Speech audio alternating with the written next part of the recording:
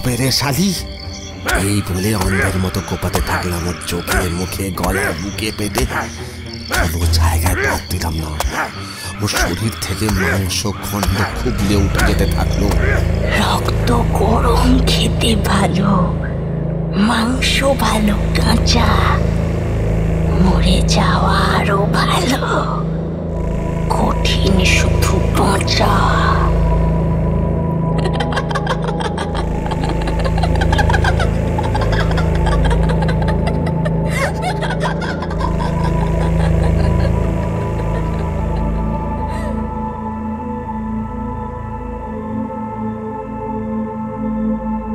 নমস্কার।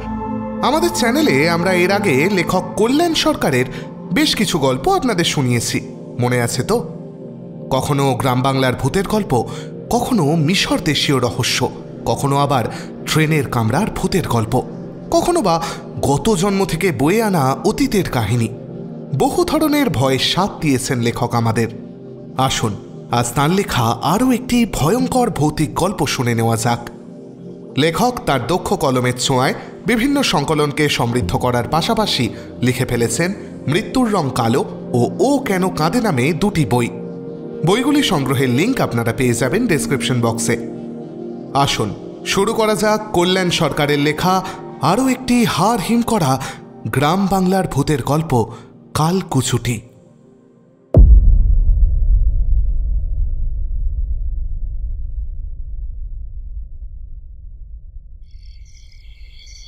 এত রাতে ভাতুরি গায়ে যাওয়াটা তো কোনো মতেই সম্ভব না, বাবু। জায়গার নাম শুনেই পরিষ্কার না করে দিল রিক্সাওয়ালা। এত রাতে মানে? কটা বাজে এখন? একটু বিরক্ত হয়েই নিজের হাতখড়িটার দিকে তাকালাম আমি। সময় দেখাচ্ছে রাত্রি আটটা বেজে পঁয়তাল্লিশ মিনিট। আরে, তার মানে তো নটাও বাজেনি এখনও। আর এই কিনা বলছে এত রাত? আশ্চর্য। না, মানছি গায়েগঞ্জে শহরের তুলনায় রাতটা একটু তাড়াতাড়ি হয়ে যায় কিন্তু তাই বলে এত তাড়াতাড়ি? কি করব ঠিক বুঝে উঠতে পারলাম না আমি। অচেনা অজানা জায়গা, তার মধ্যে অন্য কোনো যানবাহনও চোখে পড়ছে না।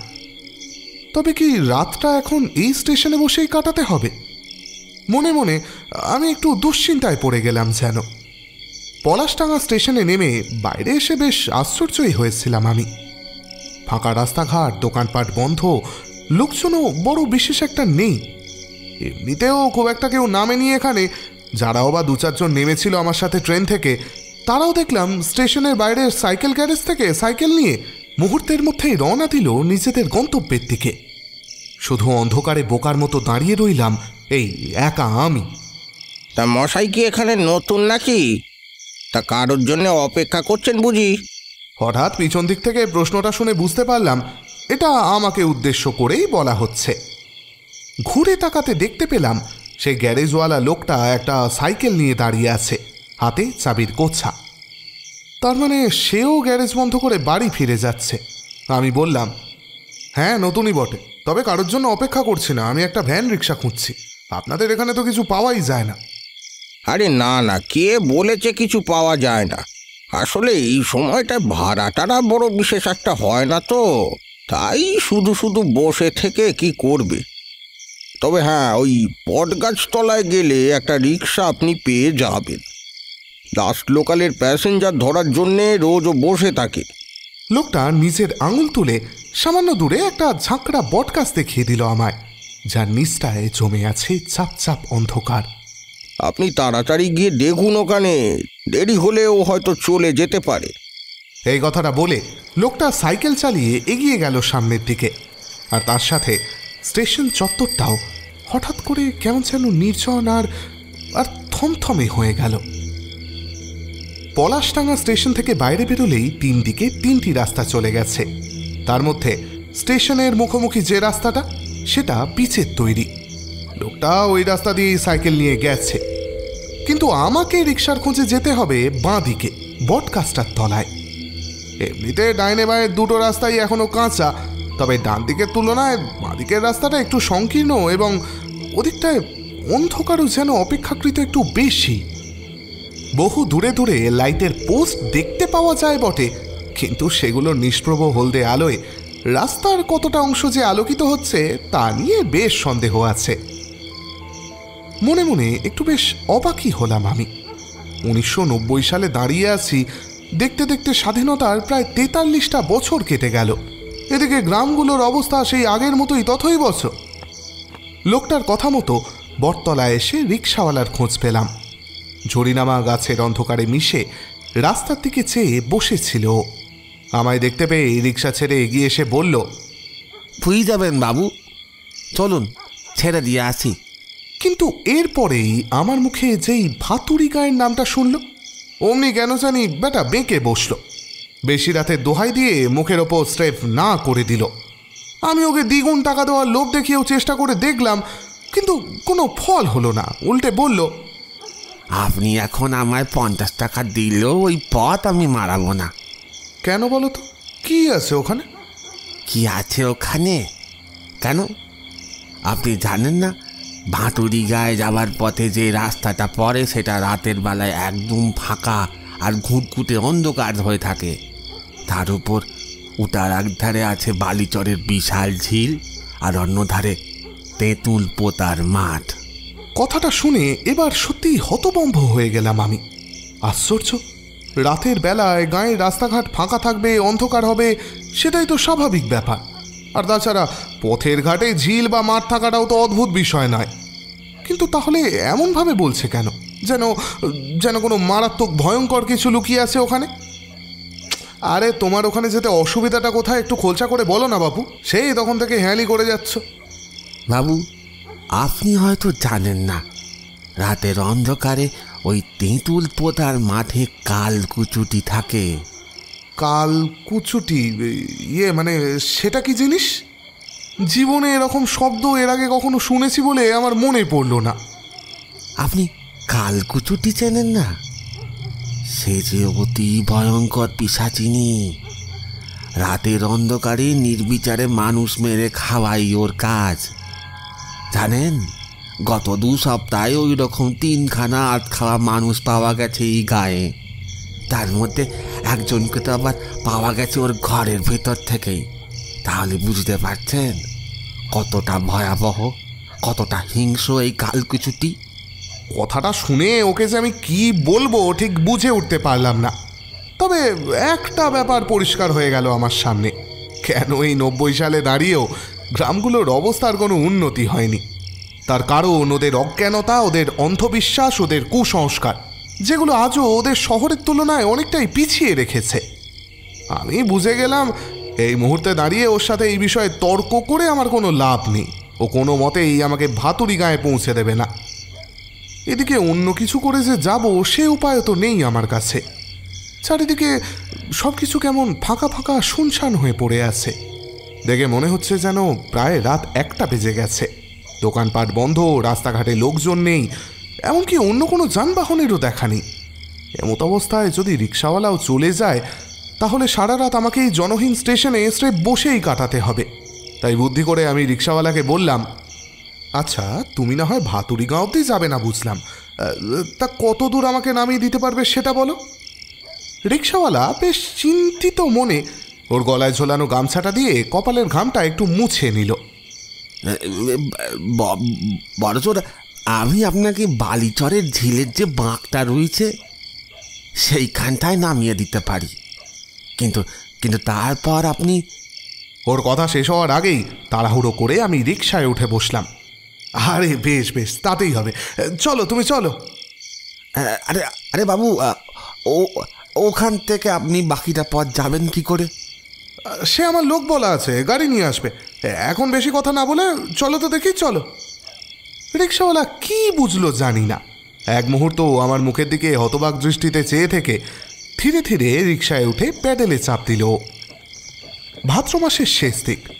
আমাদের ওদিকে এখনও যথেষ্ট পরিমাণে গরম থাকলেও এখানে কেন জানি সেটা বেশ কম বলেই মনে হচ্ছিল আমার।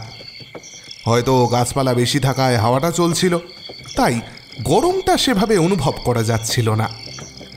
স্টেশন চত্বর ছেড়ে গায়ের কাঁচা রাস্তা দিয়ে একটা ক্যাঁচ ক্যাঁচ শব্দ করতে করতে এগিয়ে চলেছিল রিক্সাটা রাস্তার দুই ধারে অনতি ঘন, ছোট বড়, কাঁচা পাকা বাড়ি, যেগুলোর ভিতর থেকে এখনও আলো জ্বলতে দেখা যাচ্ছে। তাছাড়া কয়েকটা তালাবন্ধ দোকান আর তাল নারকেল এবং খেজুর গাছের সারি। অবশ্য এর মাঝে খান কয়েক বট অসত্য আর কৃষ্ণচূড়া গাছও চোখে পড়েছে আমার।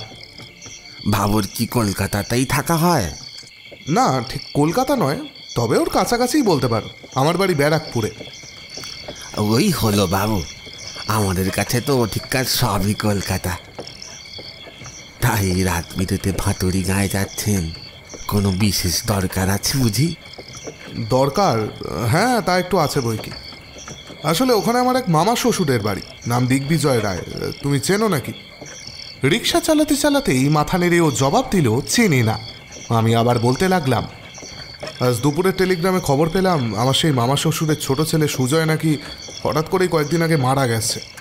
তো ভাবলাম, মারা যাওয়ার খবর যখন পেলাম, তখন একবার দেখা করে আসা উচিত। তাই বেরিয়ে পড়লাম। কিন্তু এদিকে আসা ট্রেন এত কম পৌঁছতে পৌঁছতেই রাত হয়ে গেল। সে এসেছেন ভালোই করেছেন। কিন্তু এত রাতে আসাটা হয়তো উচিত হয়নি আপনার। নিজের মনে একটু হাসলাম আমি। বুঝতে পারলাম ও হয়তো আবারও সেই কালকুচুটির কথাই আমায় বলতে চাইছে। বেশ কিছুটা পথ চুপচাপই অতিক্রম করলাম আমরা। তারপর আশেপাশে দৃশ্যাবলীরও অনেকটা পরিবর্তন হলো। এখন আর রাস্তার দুপাশে আগের মতো অত বাড়িঘর দেখতে পাওয়া যাচ্ছে না। তার বদলে যেদিকেই চোখ যাচ্ছে সেদিকেই শুধু ধুধু মাঠ খালি জমি আর বিভিন্ন ধরনের ধানের ক্ষেত। যার ধান এবং পাটের ক্ষেতটাই বেশি চোখে পড়ছে আমার। আচ্ছা তোমার নামটা কি জানো? আগে বাবু গোপাল। তা গোপাল তুমি যে তখন কালকুচুটির কথা বলছিলে তা সে দেখতে কেমন? অনুভব করলাম রিক্সা চলার গতিবেগটা হঠাৎ করেই আগের থেকে যেন কমে গেল। কিছুক্ষণ চুপচাপ থাকার পরও বলল এসব কি বলছেন বাবু? ওকে যারা সামনে থেকে দেখেছে তারা কি এখনও কেউ বেঁচে আছে নাকি? সকলেই তো মারা পড়েছি ওর হাতে। বলো কি? হ্যাঁ ঠিকই বলছি বাবু। এই যে আজ আপনি বটতলায় এসে আমায় পেলেন এখানে কি আগে আমি দাঁড়াতাম নাকি? এখানে তো দাঁড়াতো শ্যামল। কিন্তু দিন সাতেক আগে একটা রাতের ভাড়া ছাড়তে গিয়ে ও আর ফিরল না।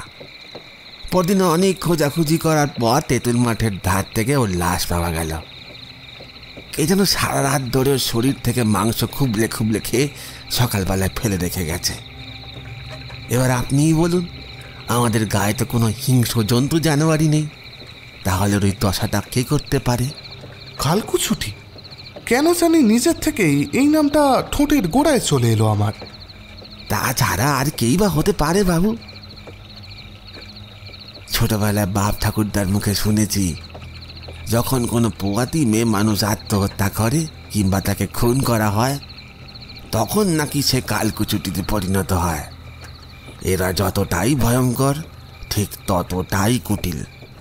আর এই কুটিল স্বভাবের জন্যেই লোকের মুখে এদের নাম হয়েছে কালকুচুটি গোপালের মুখ থেকে কথাগুলো শুনে ভয় পেলাম না ঠিকই, কিন্তু কেমন যেন একটা অদ্ভুত রোমাঞ্চ অনুভূত হতে লাগল।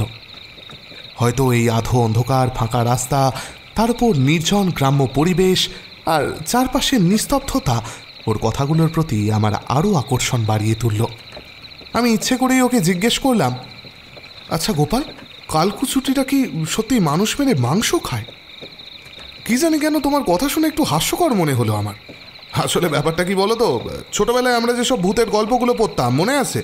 তাতে বেশিরভাগ তো এইসবই লেখা থাকতো। ভূতে এসে ঘাড় মোটকে দিল পেদনি এসে কাঁচা মাংস চিবিয়ে গেল কিংবা ওই ডাইনি এসে রক্ত চুষে গেল হ্যাঁ?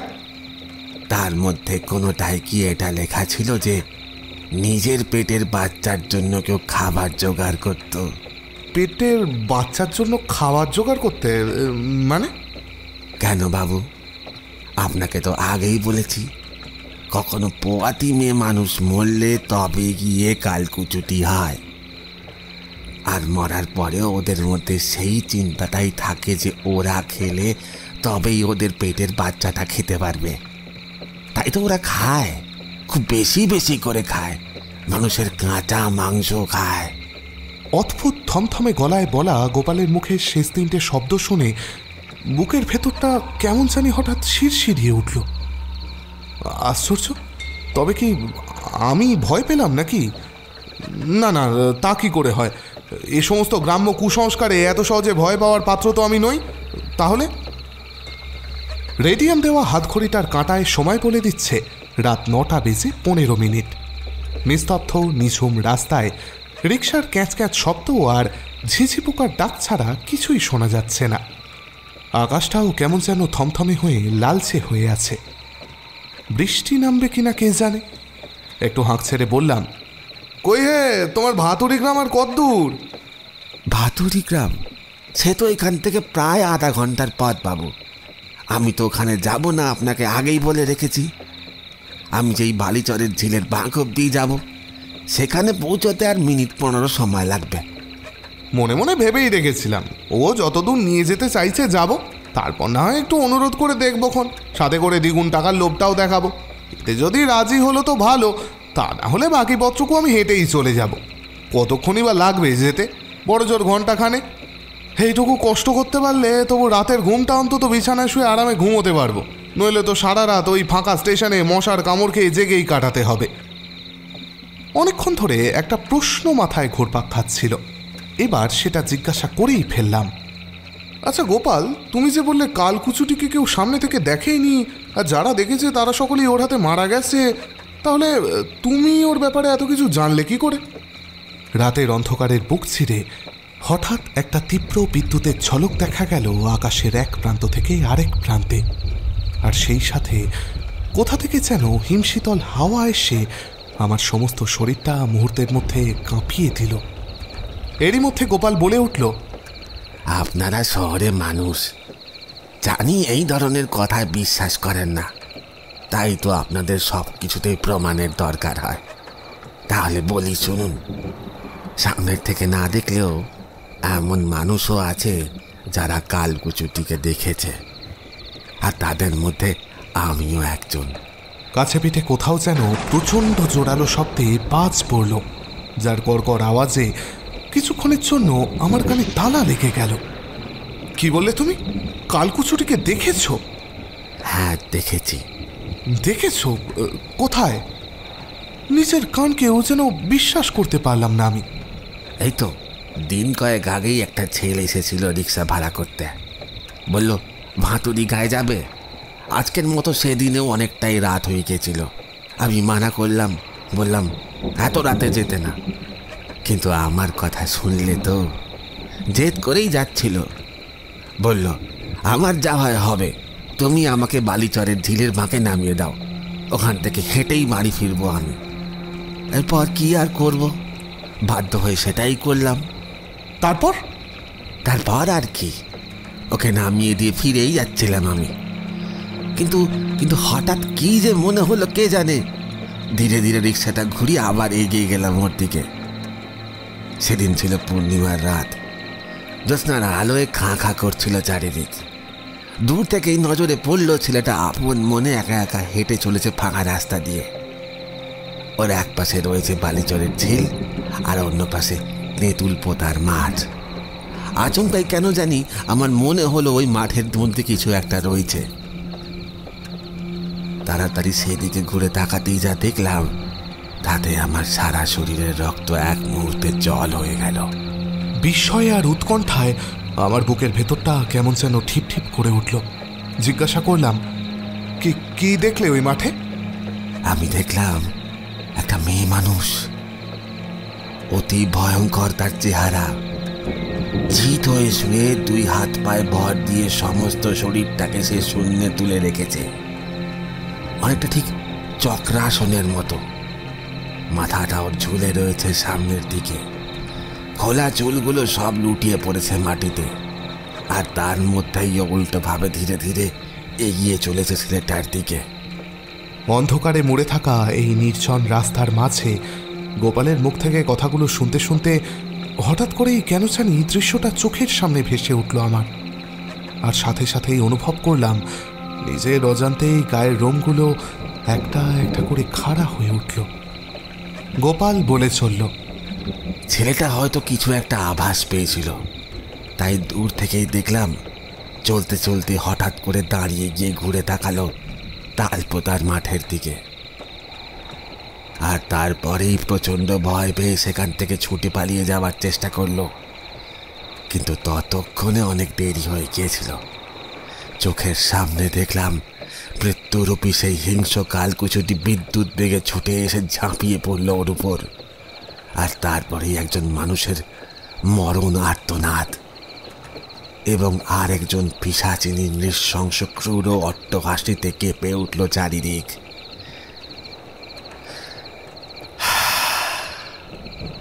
এর পরের বিভৎস দৃশ্য আমি আর সহ্য করতে পারিনি, বাবু। তাই ভয়ে, আতঙ্কে তাড়াতাড়ি ওখান থেকে রিক্সা নিয়ে পালিয়ে গিয়েছিলাম আমি। পরের দিন সকালে যখন ছেলেটার আধ খাওয়া ছিন্ন ভিন্ন দেহ পাওয়া গেল তালপোতার মাঠের ধারে, তখন ওর প্যান্টের পকেট থেকে একটা ভোটার কার্ডের জেরক্স বেরিয়েছিল, যাতে ছেলেটার নাম লেখা ছিল সুজয় রায়, পিতার নাম দিগ্বিজয় রায়। মানে? এ তুমি কি বলছো? সুজয় কালকুচুটির হাতে মারা গেছে? রিক্সায় বসা অবস্থাতেও সারা শরীর যেন থরথর করে কাঁপতে লাগল। গোপাল আমার এই প্রশ্নের কোনো জবাব না দিয়ে আচমকায় রিক্সাটা রাস্তার একপাশে দাঁড় করালো। তারপর রিক্সা থেকে আমার থেকে ম্লান চোখে তাকিয়ে বলল হ্যাঁ বাবু, বিশ্বাস করুন, সেদিন অনেক বাধা দিয়েছিলাম ওই দাদাবাবুকে। কিন্তু একজন গরিব রিক্সাওয়ালার কথা উনি কানে তোলেননি। তাই তো এই পরিণতি হলো ওনার। গোপাল আরও কিছু বলে চলেছিল এক নাগারে কিন্তু তখন সেসব শোনার বা বোঝার মতো কোনো অবস্থাতেই আমি ছিলাম না। শরীরটা বড্ড অসুস্থ লাগছিল, মাথা ঘুরছিল বনবন করে, চোখের সামনে সব কিছুই যেন অন্ধকার হয়ে আসছিল আমার। ঠিক তখনই গোপাল এমন একটা কথা বলল, যাতে সাথে সাথেই সম্বিত ফিরে পেলাম আমি। বালিচরের ছেলের পাঁক এসে গেছে বাবু। আপনি এখানেই নেমে যান। এর বেশি আমি আর ওদিকে যেতে পারব না। মানে এটা কীরকম কথা হলো? চমকে উঠলাম আমি। চোখ ঘুরিয়ে তাকাতেই দেখতে পেলাম, আমি যেখানটায় রিক্সার মধ্যে বসে আছি, সেটা রাস্তার একটা বাঁক। আর এখান থেকেই কাঁচা মাটির রাস্তাটা ডান দিকে ঘুরে গিয়ে আবার এঁকে পেকে চলে গিয়েছে সামনের দিকে। এর এক পাশে বাঁশ পাকান অন্য পাশে বড় ঝিল। বুঝতে অসুবিধে হলো না, এই ঝিলটারই নাম বালিচরের ঝিল। বললাম আশ্চর্য?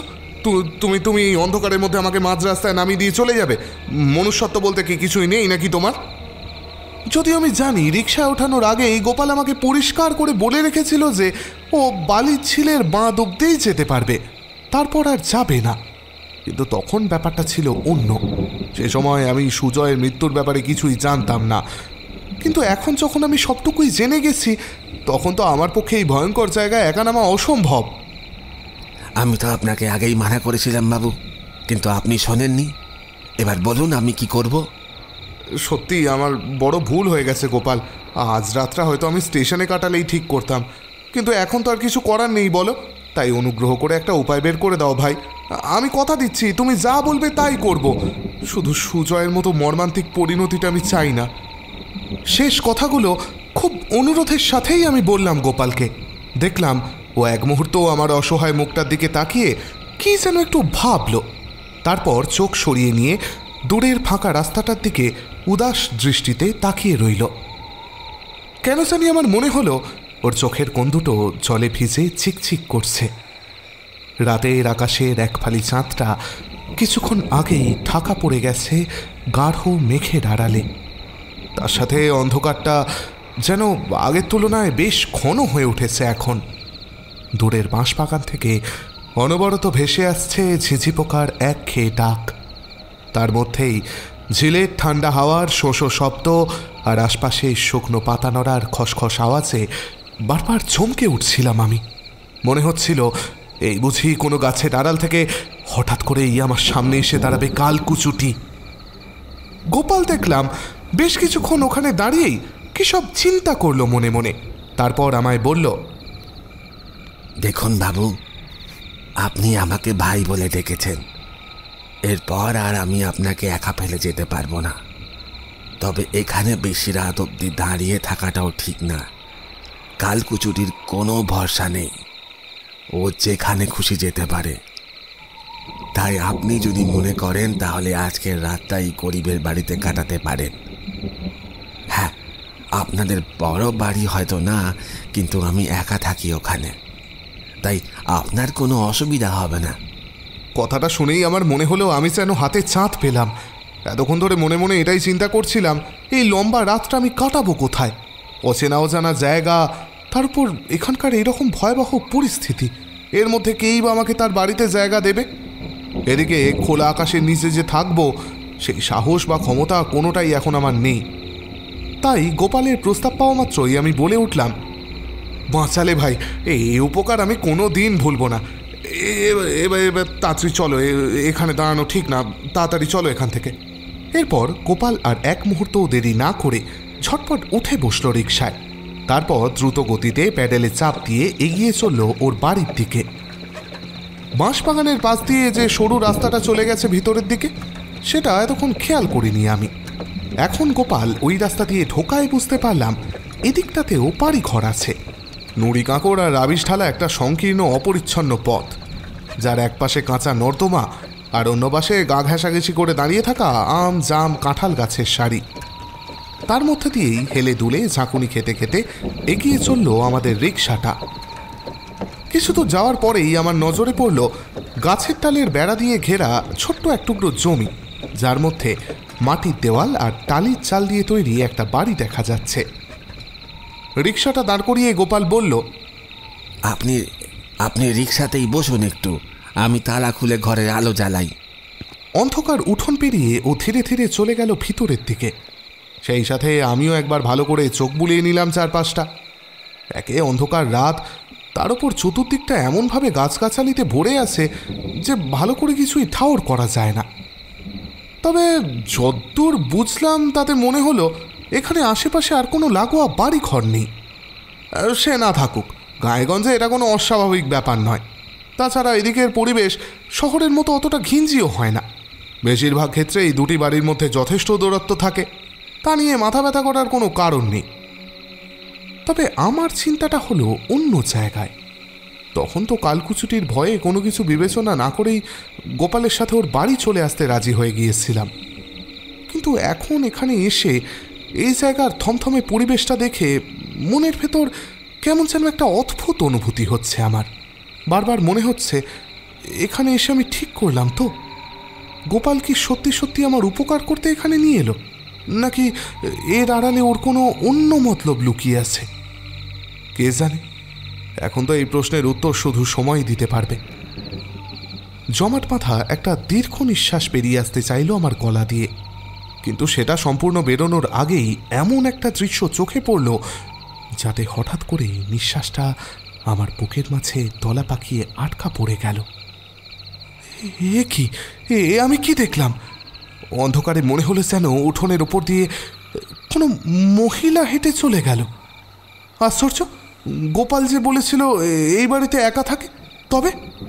এদিকে আসুন বাবু, বাতি জ্বালানো হয়ে গেছে। গোপালের ডাক শুনে চিন্তায় ছেদ পড়ল আমার। ঘাড় ঘুরিয়ে দেখলাম, উঠোন থেকে সামান্য ওপরে মাটির বারান্দাটার ওপর হ্যারিকেন হাতে দাঁড়িয়ে রয়েছে ও। এক মুহূর্ত সেদিকে তাকিয়ে, যা হবে দেখা যাবে এখন। এই ভেবে রিক্সা থেকে নেমে এগিয়ে গেলাম আমি। এই গায়ের রাস্তাগুলোয় বৈদ্যুতিক আলোর ব্যবস্থা থাকলেও বাড়িগুলোতে এখনও বিদ্যুৎ এসে পৌঁছয়নি। আর সেটা আসার পথেই লক্ষ্য করেছিলাম আমি। যদিও এর কারণটা ঠিক বুঝতে পারিনি তবে রাস্তার একধারে কয়েকটা শোয়ানো লাইন পোস্ট আর তারের রোল দেখে মনে হয়েছে, এখানকার কাজ এখনও পুরোপুরি শেষ হয়নি। সেটা শেষ হলেই খুব তাড়াতাড়ি এই গ্রামেরও প্রত্যেকটা বাড়িতে বিজলি বাতির আলো জ্বলতে দেখা যাবে। মাটির দুটো সিঁড়ি পেরিয়ে বারান্দায় উঠতেই আমার নজরে পড়ল পাশাপাশি দুটো ঘর। তার মধ্যে একটা দরজা খোলা, ভিতরে হ্যারিকেন জ্বলছে আর দ্বিতীয়টার দরজা ভিজিয়ে রাখা হয়েছে। উঠোন দিয়ে আসার সময় খেয়াল করেছিলাম মাটির ঘরটির পাশেই আরেকটি ছোট্ট মতো ঘর রয়েছে, দরমার বেড়া দিয়ে তৈরি। খুব সম্ভবত ওটা রান্নাঘর, আর ঠিক তার পাশেই রয়েছে একটা টিউবওয়েল যার চারপাশটা ইট দিয়ে বাঁধানো। দেখে ভালো লাগল, এই বাড়িতে কারেন্ট না থাকলেও জলের ব্যবস্থাটা ঠিকঠাক আছে। রাত বিরেতে অসুবিধায় পড়লে জলের খোঁজে অন্তত বাইরে ছুটোছুটি করতে হবে না। গোপাল আমায় বলল, বাবু, আপনি চোখে মুখে জল দিয়ে ঘরের মধ্যে বসেন। আমি ততক্ষণ আপনার জন্য একটু চা করে নিয়ে আসি ক্ষণ আরে না না এত ব্যস্ত হতে হবে না তোমায়। আমার চা না খেলেও চলবে। যদিও কথাটা মুখে বললাম ঠিকই তবে এটাও সত্যি যে এই সময় একটু চায়ের খুবই দরকার ছিল আমার। অনেকক্ষণ ধরে এই মাথাটা কেন জানি দপদপ করছিল।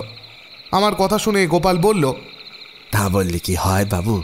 এতটা পথ যাত্রা করে এসেছেন কত ধকল গেছে। একটু চা খেলে দেখবেন শরীরটা ঝরঝরে হয়ে যাবে। এই বলেই গোপাল চা তৈরি করার জন্য বেড়ার তৈরি ছোট্ট রান্নাঘরটায় ঢুকে গেল।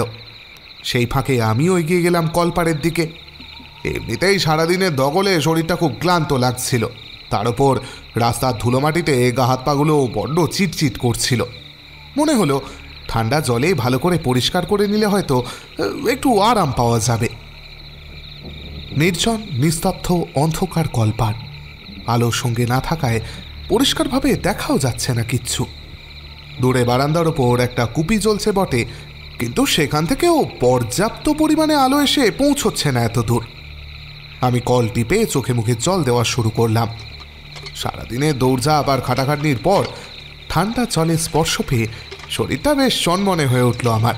তার সাথে এতক্ষণ ধরে যেসব ভয়ভীতি, দুশ্চিন্তা, দুর্ভাবনাগুলো গ্রাস করে রেখেছিল আমায় এখন মুহূর্তের মধ্যে সেগুলো যেন হারিয়ে গেল কোথায়।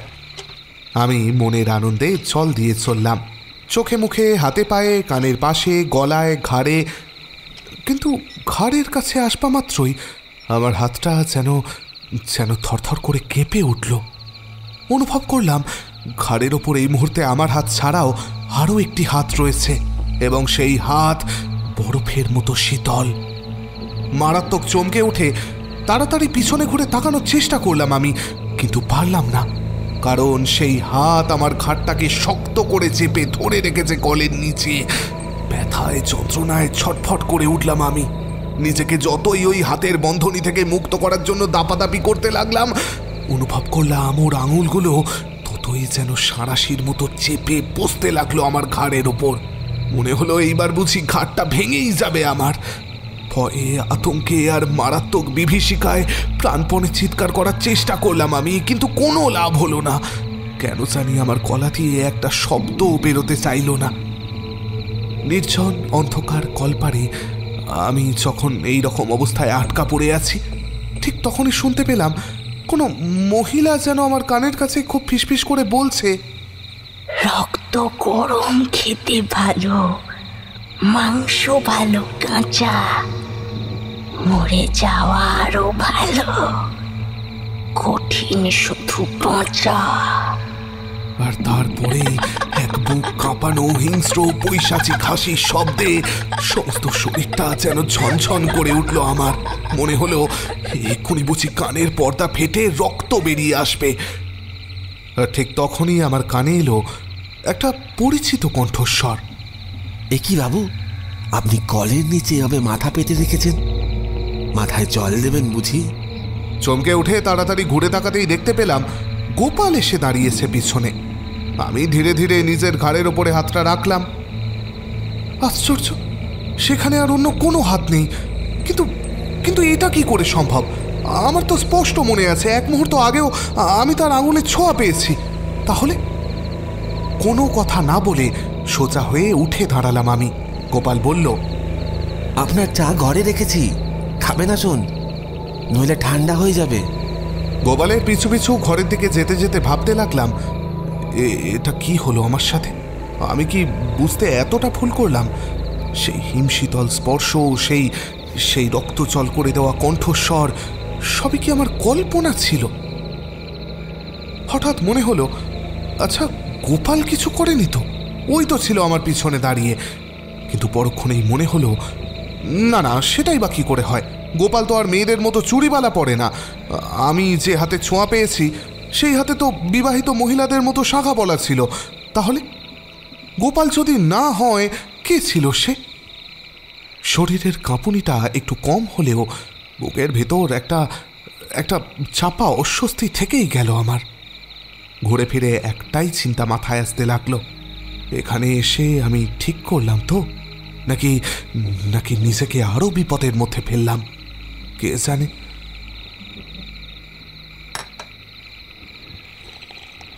নিচু কড়িপরকার ছাদ, শুকনো খটখটে মাটির দেওয়াল, আর সেই দেওয়ালের পেরেক থেকে ঝুলছে খানকতক পুরনো ক্যালেন্ডার, কয়েকটা চুড়ি, আর একটা কাত হয়ে থাকা কাঁচ ভাঙা ফটো ফ্রেম।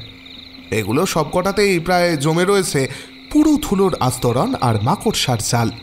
দেখলেই বোঝা যায়, বহুদিন হলো এ জায়গা পরিষ্কার করা হয়নি। এছাড়া ঘরের জিনিসপত্র বলতে, একটা মাঝারি আকৃতির চৌকি, কয়েকটা টিনের বাক্স, একটা ছোট টেবিল, একটা আলনা, দুটো মোড়া আর একটা মিট কেস। আমি বহুক্ষণ ধরে ছবিটার দিকে একদৃষ্টে তাকিয়ে থাকায় গোপাল আমার দিকে তাকিয়ে বলল, ওটা আমার আর আমার বউয়ের ছবি। বছর তিনেক আগে দীঘায় গেছিলাম। সেখানেই তোলা। তা তোমার বউ কোথায় এখন? আমার এই প্রশ্নের কোনো উত্তর না দিয়ে হাতে ধরা কাপটার দিকে এক মনে তাকিয়ে সে বলে চলল, আমার যখন বছরখানেক বয়স, বাপটা তখন সাপের কামড়ে মারা পড়ল। লোকের বাড়ি বাড়ি কাজ করে মাই আমাদের দুজনের পেট চালাতো। সেই মাকে যে কবে যক্ষায় ধরল, টেরই পেলাম না। তারপর মাও একদিন আমাদের ছেড়ে চলে গেল। তখন আমার চোদ্দ বছর বয়স। ওই সময় থেকেই রিক্সা চালানো শুরু করেছি। তারপর ধীরে ধীরে বয়স বাড়ল। শ্যামলীকে পছন্দ করেই বিয়ে করলাম। দিনগুলো ভালোই যাচ্ছিল, জানেন? কিন্তু দিন কুড়ির আগে একদিন সকালে ঘুম থেকে উঠে শ্যামলীকে আর দেখতে পেলাম না। অনেক খোঁজাখুঁজির পর ও রাত খাওয়া লাশ পেলাম তালপোতা মাঠের মাঝখান থেকে। হ্যাঁ আমাদের গায়ে ওই প্রথম ছিল, যে কিনা কালকুচুটির হাতে মরেছিল। তারপর থেকে মানুষ মরার দল শুরু হয়েছে এখানে। এতক্ষণ এক মনে চা খাচ্ছিলাম আমি।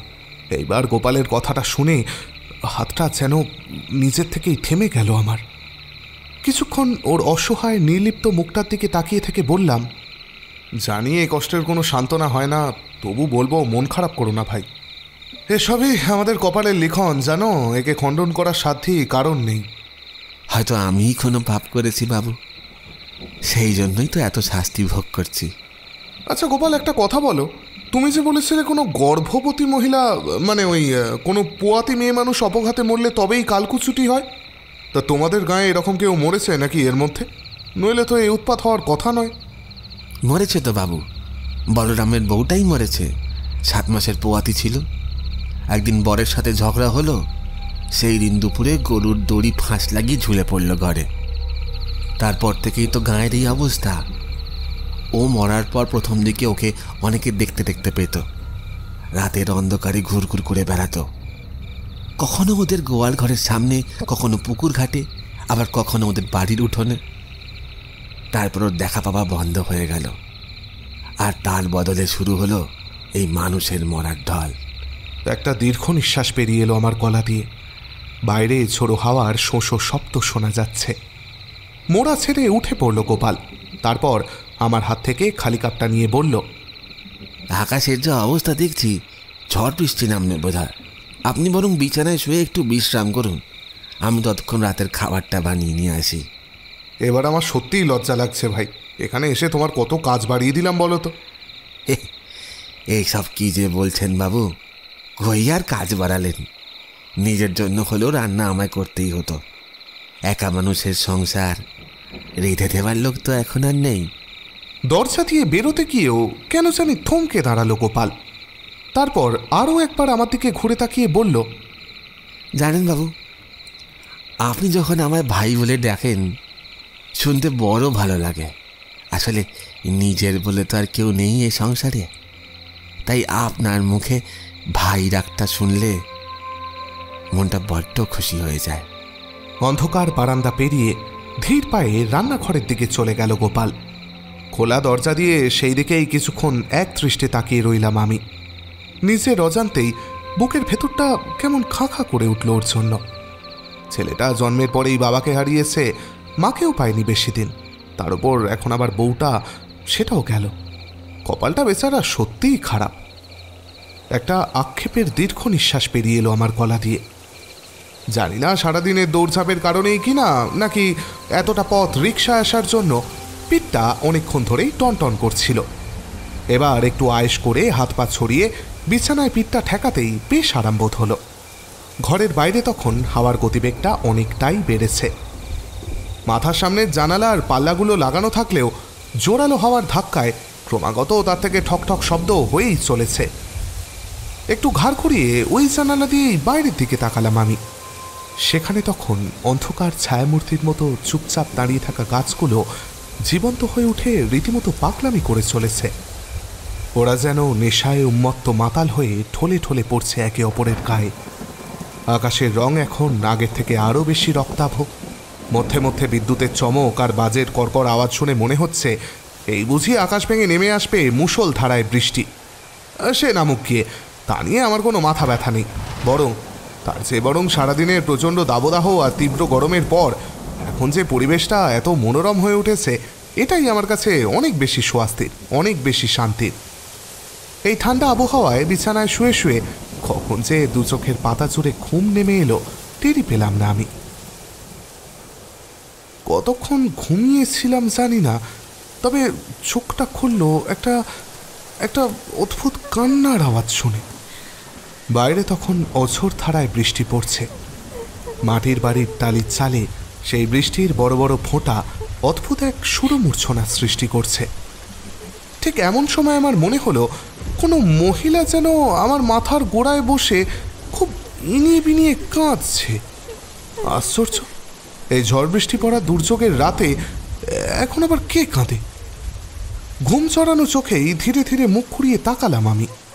মাথার ওপর বিছানার সঙ্গে লাগোয়া জানালাটা খোলাই আছে এখনও।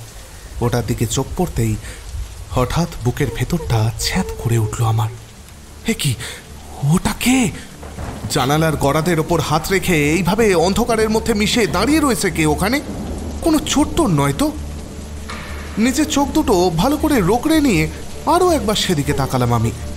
এবং তারপরেই বুঝতে পারলাম, আরে, এ তো একজন মহিলা। অন্ধকারে মুখটা ভালো দেখা যাচ্ছে না। তবে ওর পরনে লাল টুকটুকে সুতির শাড়ি, আলতায় চোবানো দুটো হাত আর সেই হাতে পড়ে থাকা শাঁখাপলা সবই নজরে পড়ছে আমার।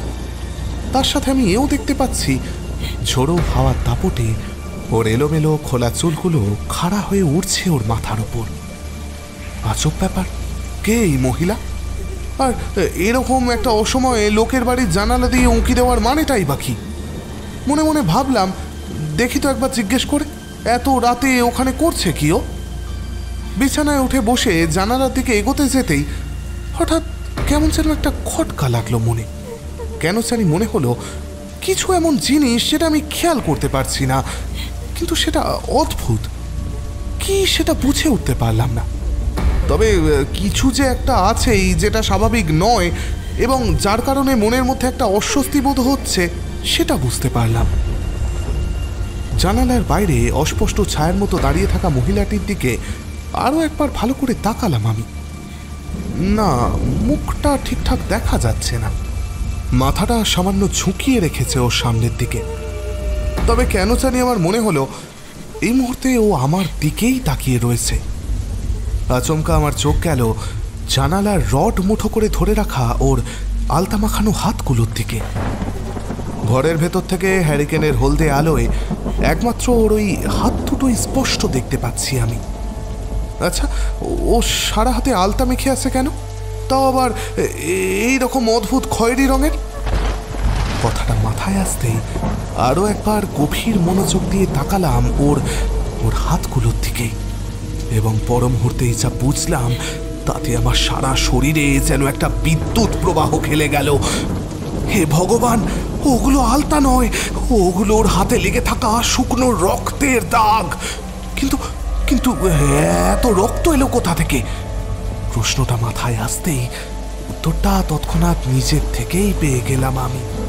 তবে কি আমার জানলার বাইরে যে দাঁড়িয়ে রয়েছে, এটাই সেই কালকুচুটি। বুকের ভিতর কে যেন থরাস থরাস করে হাতুড়ি পিটতে লাগল আমার। মনে হলো নিঃশ্বাসের গতিবেগ এতটাই বেড়ে গেছে যে যে কোনো মুহূর্তেই সেটা স্তব্ধ হয়ে যেতে পারে চিরকালের জন্য।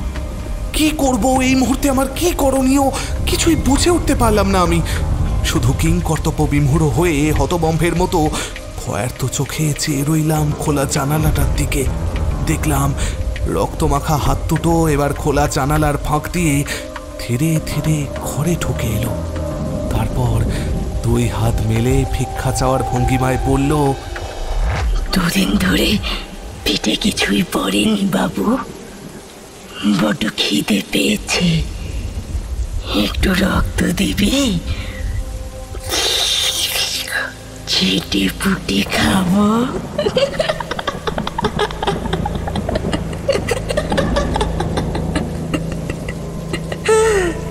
উফ কি ভয়ঙ্কর! মাথার ভেতরটা ঝনঝন করে উঠল আমার। তার সাথে ওই বৈশাখী খাসির শব্দ যে কোনো মানুষের শরীরের রক্ত জল করে দিতে পারে। মারাত্মক ভয়ে আর বিভীষিকায় সারা শরীর থরথর করে কেঁপে উঠল আমার। আমি চোখ বন্ধ করে চিৎকার করতে লাগলাম। গোপাল গোপাল, কোথায় তুমি? দয়া করে আমাকে এখান থেকে নিয়ে যাও ভাই। আমি মরতে চাই না। বাঁচাও ভাই, বাঁচাও। হঠাৎ আমার কাঁধের ওপর একটা হাতের ছোঁয়া পেয়ে প্রচণ্ড চমকে উঠলাম আমি। শুনতে পেলাম কেউ একজন পিছনে দাঁড়িয়ে বলছে কি হয়েছে বাবু? চিৎকার করছিলেন কেন? কিছু দেখে ভয় পেয়েছেন বুঝি? ভাই আমি দেখেছি আমি দেখেছি ওকে। ও ওইখানে দাঁড়িয়ে আছে। আঙুল তুলে জানালার দিকে নির্দেশ করলাম আমি। আমার কথা শুনে গোপাল বলল কাকে দেখেছেন? কার কথা বলছেন আপনি? কাল কুচুটি তোমার জানলার বাইরেই দাঁড়িয়ে আছে। তুমি আমাকে বাঁচাও ভাই। ভয় আর উত্তেজনায় গলা স্বর কাঁপতে লাগল আমার। গোপাল কিছুক্ষণ একদৃষ্টে জানালার দিকে তাকিয়ে থেকে বলল কই বাবু ওখানে তো কেউ নেই। আপনার নিশ্চয়ই কোথাও ভুল হচ্ছে। কেউ নেই? বিস্ময়ে হতবাক হয়ে গেলাম আমি। এসব কি বলছে গোপাল? একটু আগেই তো আমি ওকে দেখলাম ওখানে দাঁড়িয়ে থাকতে। এর মধ্যে গেল কোথায় ও? তাড়াতাড়ি ঘাড় ঘুরিয়ে জানালার দিকে তাকালাম আমি। আর তারপরেই দেখলাম, জানালার সামনেটা একদম ফাঁকা পড়ে আছে। কেউই নেই ওখানে। শুধু অন্ধকারে দাঁড়িয়ে থাকা কলা গাছটা হাওয়ার দাপটে এমন উল্টোপাল্টাভাবে নড়ছে যেন দেখে মনে হচ্ছে কোনো মহিলার মাথার চুল লেলোপাথারি হাওয়ায় উঠছে আশ্চর্য, এতটা ভুল করলাম আমি? একটা কলা গাছকে পর্যন্ত চিনতে পারলাম না। শুধু শুধু কালকুচুটি ভেবে ভয় পেয়ে বসলাম। নিজের বোকামিতে নিজেরই কেমন যেন রাগ হলো এবার। মনে হলো, ভালো করে না দেখে এতটা ভয় পাওয়া আমার মোটেই উচিত হয়নি। কিন্তু পরক্ষণেই আবার মনটা বলে উঠল আচ্ছা যদি ওটা কলা গাছেরই ছায়া হয়ে থাকে, তাহলে জানালার গড়াতে যে শাঁখা পলা পড়া দুখানা দুখানা রক্তমাখা হাত আমি দেখলাম, সেগুলো কার ছিল? আমার মনের ভুল নাকি নাকি পুরোটাই দৃষ্টিভ্রম? কে জানে হয়তো সেরকমই কিছু হবে। একটা দীর্ঘ নিঃশ্বাস বেরিয়ে এলো আমার গলা দিয়ে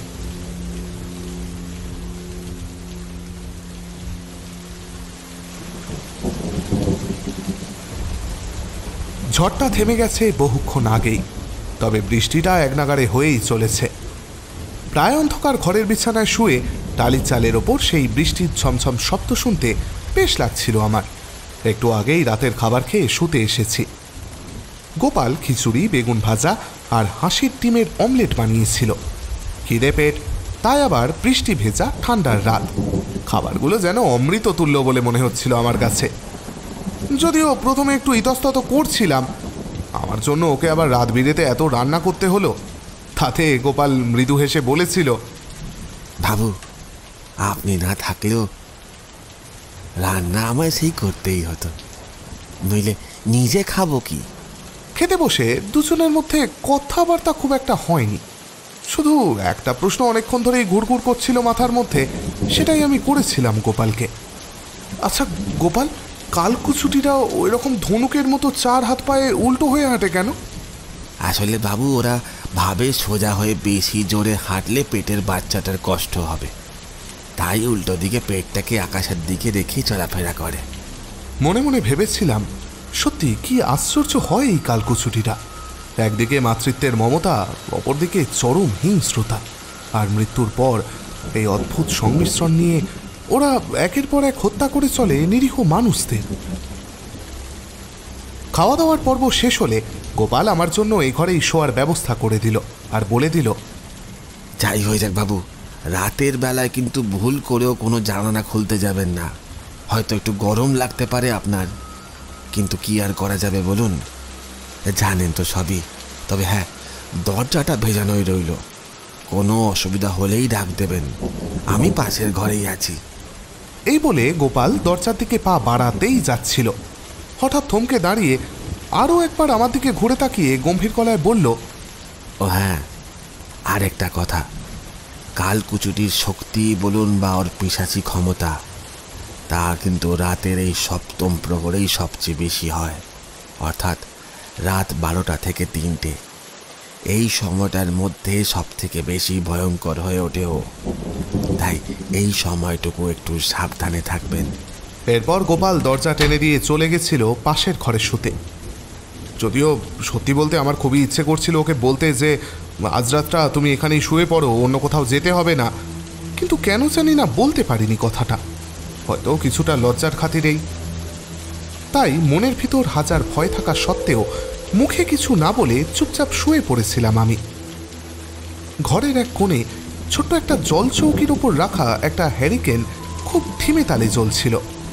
তার থেকে যে পরিমাণে আলো নির্গত হচ্ছিল, তাতে সারা ঘরের অন্ধকার দূর হয় না। সে না হোক, তবে ওই সামান্য আলোটুকুই এখন। আমার কাছে এই একলা ঘরে সারাটা রাত কাটানোর একমাত্র অবলম্বন হয়ে উঠেছে। চারিদিক থেকে ঘিরে ধরা চাপ চাপ অন্ধকারের মাঝে ওই এক চিলতে রশ্মিটুকুই যেন আমায় ভরসা দিচ্ছে। বলছে, ভয় পাস না, সাহস রাখ নিজের মনে, দেখবি, সব ঠিক হয়ে যাবে। সারাদিনের অনেকটা সময় অভুক্ত থাকার পর, এখন পেট পুড়ে খাবার খাওয়া মাত্রই শরীরটা কেন জানি ছেড়ে দিল আমার। তার ওপর আবার এই ঠান্ডা ঠান্ডা আবহাওয়া। হাত পা ছড়িয়ে বিছানায় শুয়ে বৃষ্টির সুরেলা গান শুনতে শুনতে কখন যে দুচোখের পাতা এক হয়ে গেল, ঠেরও পেলাম না আমি। কতক্ষণ ঘুমিয়েছিলাম জানি না, তবে আমার ঘুমটা ভাঙলো, গা কুলিয়ে দেওয়া একটা বিশ্রী দুর্গন্ধে। মনে হলো যেন কোনো পচে যাওয়া মরা আর সেই সঙ্গে কাঁচা মাংসের আঁশটে গন্ধ মেশানো কিছু একটা আমার নাকের সামনে এনে রাখা হয়েছে। একটু বিরক্ত হয়েই ধীরে ধীরে চোখ মেলে তাকালাম আমি। আর তারপরে এই সেই দৃশ্য আমার চোখের সামনে ফুটে উঠল। তাতে আমার হৃদস্পন্দনটা যেন যেন বেশ কিছুক্ষণের জন্য কাজ করা বন্ধ করে দিল। আমি দেখলাম আমার ঘরের ভিতর, ঠিক আমার বিছানার পাশেই মশারির গা ঘেসে দাঁড়িয়ে রয়েছে একজন মহিলা, যার চোখের স্থির দৃষ্টিটা তখন আমার দিকেই। ধরফর করে বিছানার ওপর উঠে বসলাম আমি। তারপর আরও একবার মশারির দিকে চাইতেই বিস্ময়ে আমার চোখ দুটো যেন ছিটকে বেরিয়ে আসতে চাইলো। কি? মশারির বাইরে তো কেউ নেই। এইমাত্র তাহলে কাকে দেখলাম আমি? বুকের ভেতরটা ঠিপ ঠিপ করে উঠল আমার। আমি কি তাহলে কোনো স্বপ্ন দেখছিলাম? কি জানি? মশারি থেকে নেমে তাড়াতাড়ি হ্যারিকেনের আলোটা উস্কে দিলাম আমি। হাত পাগুলো এখনও যেন ভয়ে ঠান্ডা হয়ে আছে। তার সাথে গলাটাও শুকিয়ে গেছে মারাত্মকভাবে। একটু জল খাওয়া দরকার। পাশেই রাখা কুঁচোটা থেকে একটা গ্লাসে জল ঢেলে নিলাম। তারপর যেইমাত্র সেটা মুখে তুলতে যাব, ঠিক তখনই আমার কানে এলো, পেছন থেকে কে যেন খুব ফ্যাস ফ্যাসে গলায় বলছে, রক্ত গরম, খেতে ভালো, মাংস ভালো, কাঁচা, মরে যাওয়া আরও ভালো। কঠিন শুধু বাঁচা। আর তারপরেই শোনা গেল সেই পৈশাচিক হাসির শব্দটা।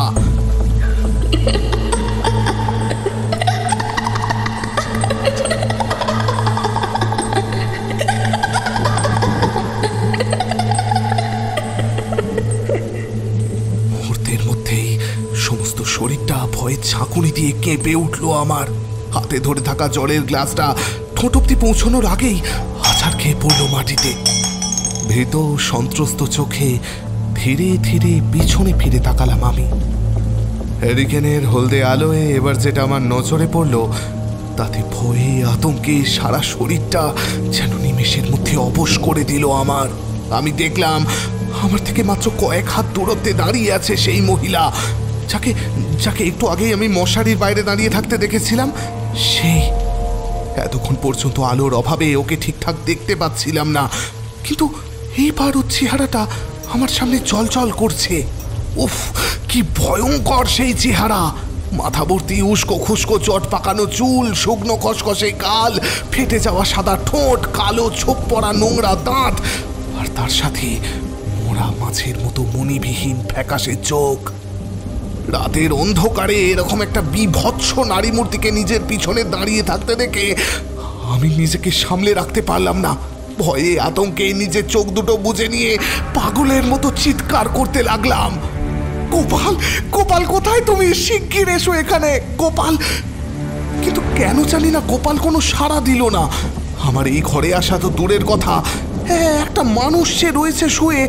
এত টাকাটাকির পর তার সামান্য একটু আভাসটুকুও পেলাম না আমি। কি হলো গোপালের? ও যে বলেছিল কোনো অসুবিধে হলেই ডাক দিতে ও চলে আসবে, তাহলে কেন এলো না? ও কি আমার কথা শুনতে পাচ্ছে না? নাকি অন্য কোনো কারণ?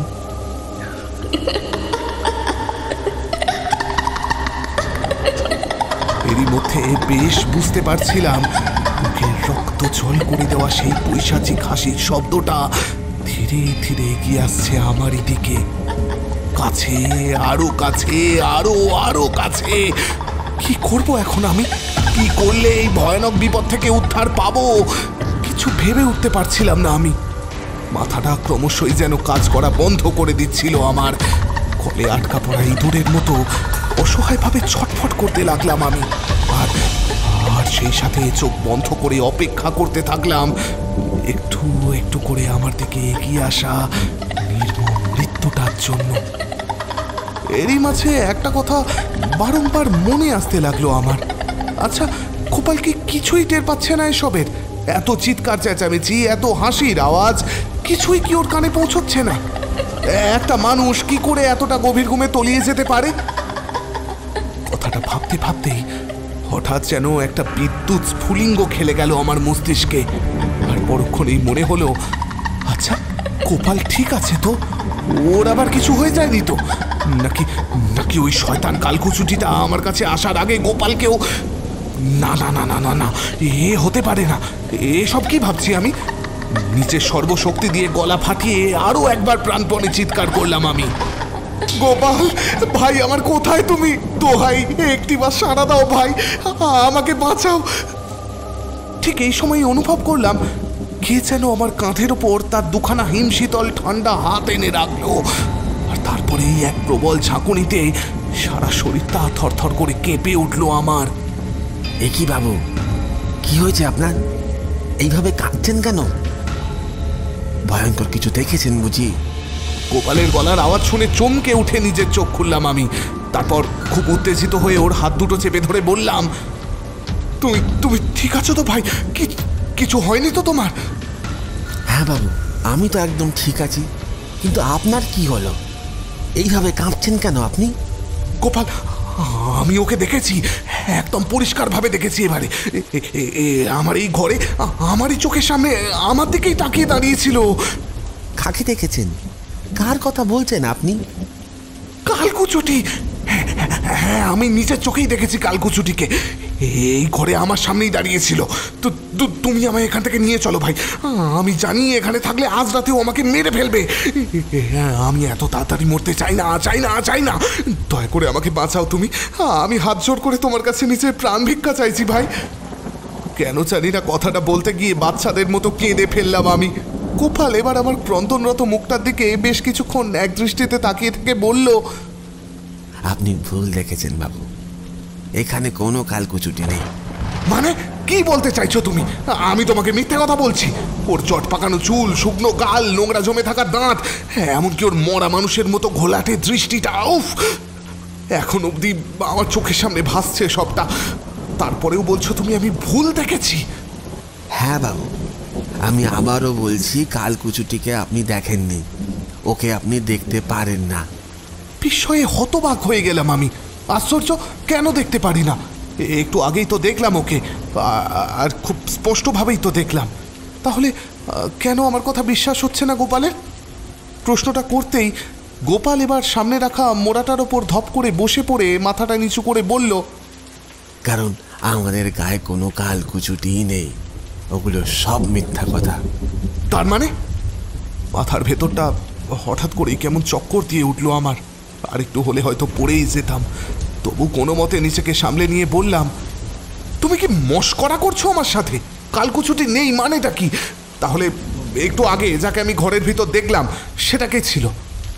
গোপাল বেশ কিছুক্ষণ চুপ করে থেকে এক দৃষ্টিতে মাটির দিকে চেয়ে রইল। তারপর একটা দীর্ঘ নিঃশ্বাস ফেলে ধীরে ধীরে বলতে শুরু করল, এখন আমি আপনাকে যেই ঘটনাটা বলতে চলেছি সেটা দিন কুড়ি আগের ঘটনা। আমার এখনও মনে আছে, সেদিনটা ছিল শনিবার। ওই দিন সকাল থেকেই মুসুল ধারে বৃষ্টি হচ্ছিল আমাদের এখানে। পথ, ঘাট খানাখন্দ যা ছিল সবই জলে থই থই করছিল। লোকজন বড় বিশেষ একটা বেরোচ্ছিল না বাড়ির থেকে। এমনিতে আমি অন্যদিন হলে সকাল সকালই বেরিয়ে যাই রিক্সা নিয়ে, তবে সেই দিন বেরোতে পারিনি। এরপর বেলা বাড়ার সাথে সাথে যখন বৃষ্টির গতিবেগটা একটু কম হয়েছিল তখন আমি নিজের রিক্সাটা নিয়ে বেরোতে যাচ্ছিলাম। ঠিক এমন সময় শ্যামলী পিছন দিক থেকে ডাক দিয়ে বলল বাড়িতে কোনো বাজার নেই।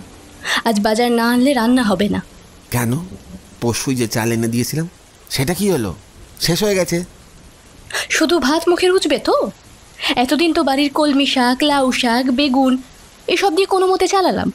এখন তো সেগুলোও ফুরিয়েছে। তা আমি কি করব শুনি? দেখছই তো বৃষ্টি বাদলার জন্য লোকে ঘরের বাইরে বেরোতে পারছে না। রিক্সা ভাড়াটা হবে থেকে ইস কোত্থেকে এলেন রে আমার সাধু পুরুষ? বলি সারাদিন মদ গিলে আর জোয়ার থেকে বসে গুলতাপ্পি মেরে রিক্সা ভাড়া কি আর জোটানো যায় গো? তার জন্য গতরটা একটু নড়াতে হয়। আমি দেখলাম শ্যামলীর আজ মাথাটা কেন জানি খুব গরম হয়ে রয়েছে। তাই তার কথা না বাড়িয়ে চুপচাপ বেরিয়ে পড়লাম রিক্সাটা নিয়ে। তবে একটা কথা কি বলুন তো বাবু? শ্যামলীর মাথা গরম হওয়ার পিছনে যথেষ্ট কারণ ছিল সে সময়। আসলে তখন আমি সত্যিই বড্ড বাড়াবাড়ি শুরু করে ফেলেছিলাম। সারাদিন মদ, গাঁজা টেনে পথে ঘাটে পড়ে থাকা, টাকা, পয়সা সব কিছু সব জুয়ার থেকে উড়িয়ে দিয়ে আসা সংসারে ছিঁটে ফোটা খেয়াল না রাখা। এরকম হাজারো বদগুণ তখন পেয়ে বসেছিল আমায়। প্রতিদিন ভাবতাম, জানেন, এসব আর কখনো করব না। কিন্তু যেই রিক্সাটা নিয়ে বাইরে বেরোতাম আর তাতে কিছু টাকা করিয়ে আসতো, অমনি মনটা কেমন যেন উসখুস উসখুস করতো। মনে হতো, আজকেই শেষবার। তারপর কাল থেকে আর এই পথই মারাবো না কোনো দিন কিন্তু এই করে প্রতিদিন গিয়ে হাজির হতাম ওই নেশার আসরে। কিছুতেই সেখানকার মোহ আমি কাটাতে পারতাম না। বুঝতে পারছিলাম এক নাগারে কথাগুলো বলতে গিয়ে গোপাল যেন ক্রমশই হাঁপিয়ে উঠছিল। তার সাথে ওর গলার স্বরটাও কেমন যেন একটা অদ্ভুত রকমের শোনাচ্ছিল। মনে হচ্ছিল ওকে যেন রীতিমতো বেশ কষ্ট করে বলতে হচ্ছে কথাগুলো। গোপাল বলে চলল, সেদিন বাড়ি থেকে বেরোনোর পর থেকেই কপাল করে খান তিনেক ভাড়া পেয়ে গিয়েছিলাম। ভাবলাম অনেক কাল হলো বউটার জন্য কিছু ভালো মন্দ তুলে দিতে পারিনি। আজ না হয় একটু মাংস কিনে নিয়ে যাই। শ্যামলি খুশি হয়ে যাবে। ব্যাস যেই ভাবা সেই কাজ।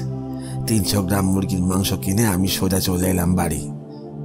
আমাকে দেখে একরকম অসময় ফিরতে দেখে শ্যামলি প্রথমে একটু অবাক হলো তারপর দাঁত খিঁচিয়ে বলল কি হলো?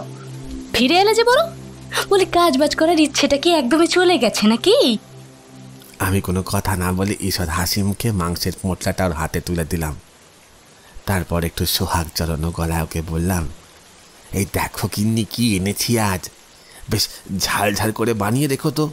দুপুরে ফিরে এসে একসাথে খাব দুজনে মিলে। এই বেলা আমি আবার রিক্সা নিয়ে বেরিয়ে পড়লাম ভাড়ার জন্য। লক্ষ্য করলাম শ্যামলী বাড়ির দাওয়ায় দাঁড়িয়ে থেকে হতভম্বের মতো চেয়ে রয়েছে আমার দিকে। এতদূর একটানা বলে যাওয়ার পর গোপাল এবার একটু থামল।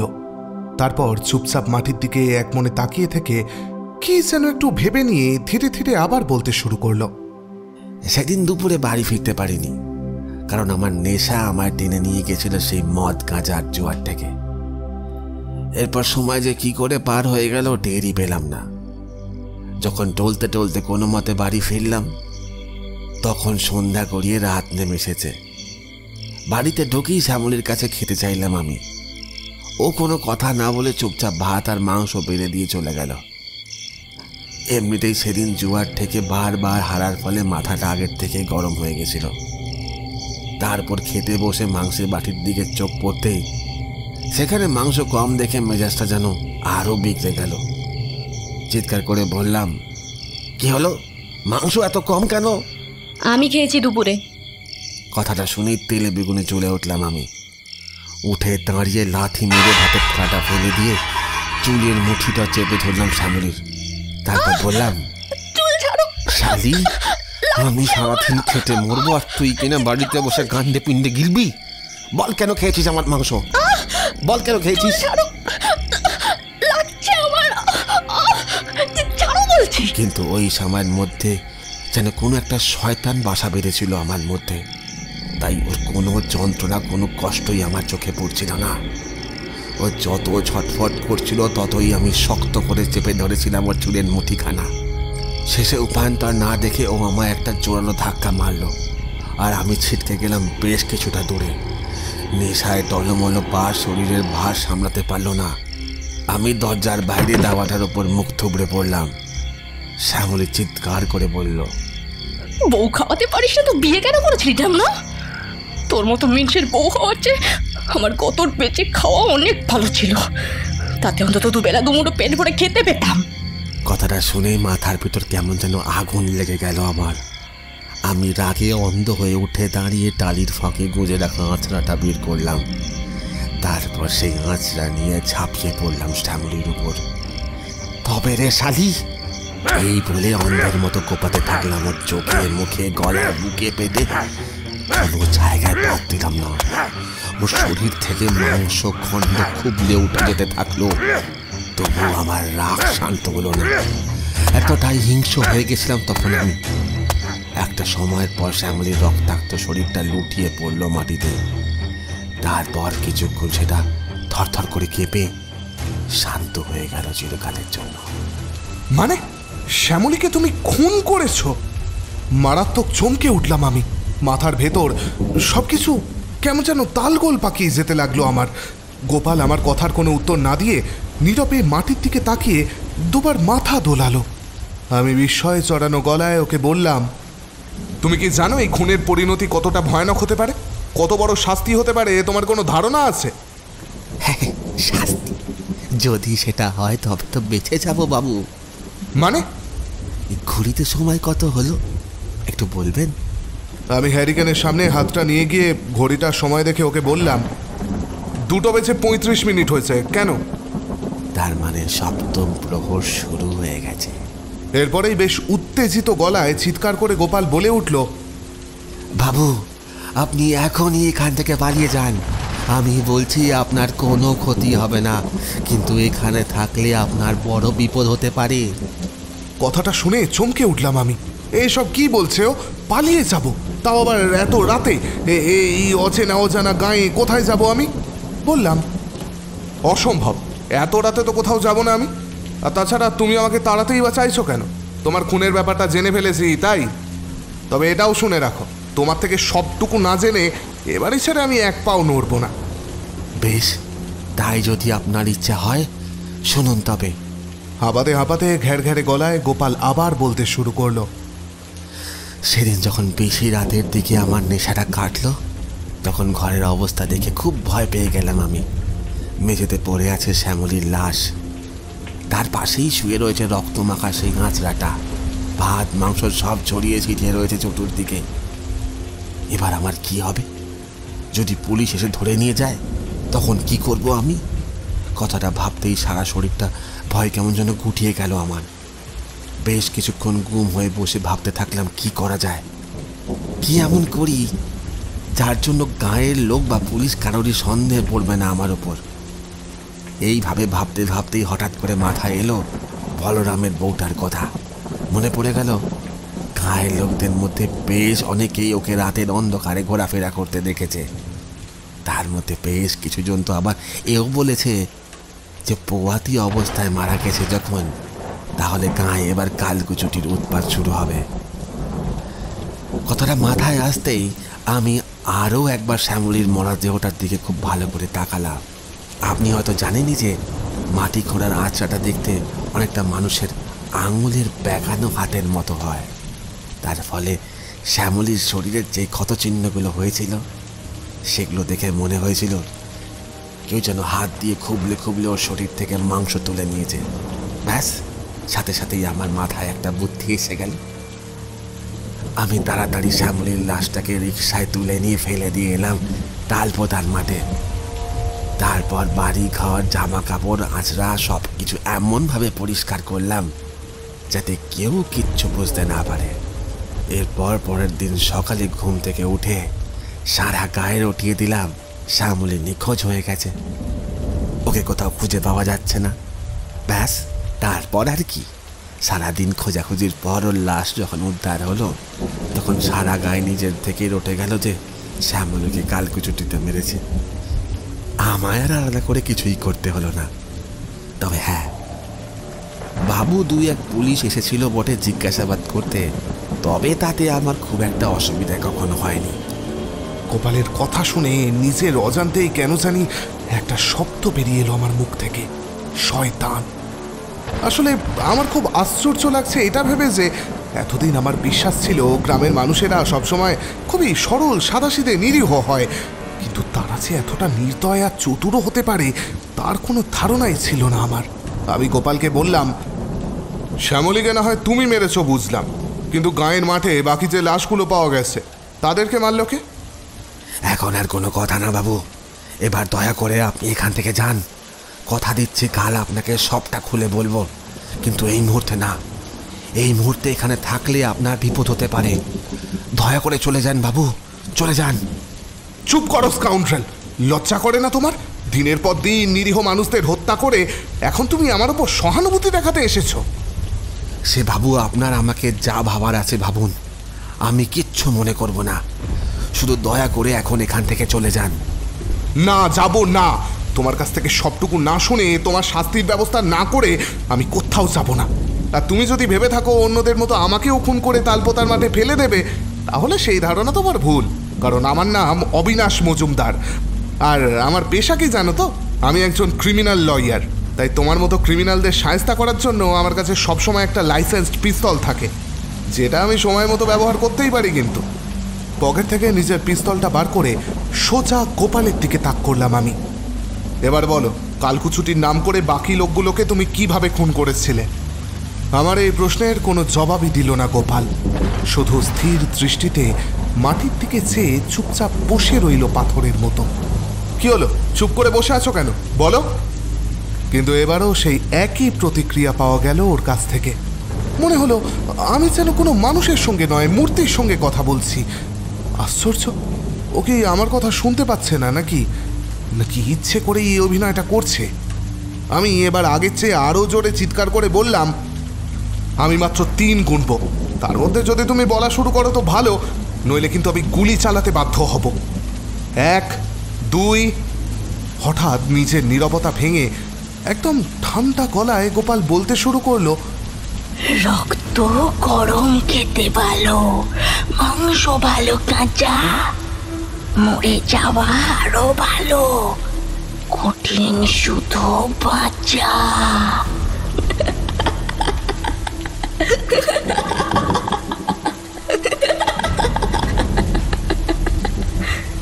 আর তারপরে শোনা গেল শির দ্বারায় বরফ জমিয়ে দেওয়া সেই বিকৃত হাসিটা।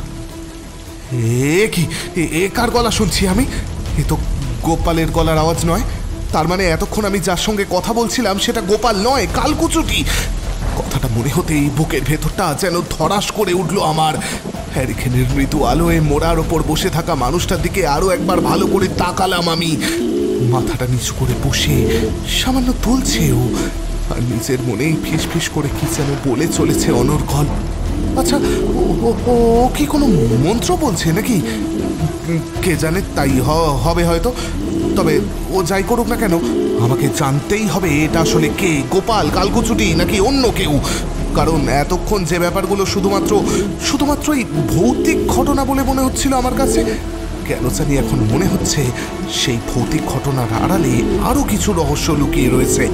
যার মধ্যে সবার প্রথম যে প্রশ্নটা মাথায় আসে তা হলো গোপালের কথা মতো এই গায়ে সত্যিই যদি কালকুচুটি না থেকে থাকে, তবে গায়ের এতগুলো নিরীহ মানুষকে মারলটাকে আর গোপালই যদি ওদের খুনি হয়ে থাকে, তাহলে ওর এটা করার কারণটাই বা কি? এছাড়া আরও কয়েকটা প্রশ্ন যেগুলোর কোনো হিসেবে মেলাতে পারছি না আমি। তা হলো কালকুচুটি যদি নাই থাকে, তাহলে এই বাড়িতে আসার পর যেই বিভৎস চেহারার মেয়েটাকে আমি দেখতে পাচ্ছি বারবার সেটাকে শ্যামলী? হতেই তো পারে নিজের মৃত্যুর প্রতিহিংসা নেওয়ার জন্য ও আবার ফিরে এসেছে। আচ্ছা তাই যদি হয়, তাহলেও তো এখানে একটা প্রশ্ন থেকেই যাচ্ছে। শ্যামলি গোপালকে না মেরে শুধু শুধু গায়ের লোকেদের মারছে কেন? ও তো আর কালকুচুটি নয় যে নিজের পেটের বাচ্চাকে খাওয়ানোর জন্য মানুষ খুন করবে।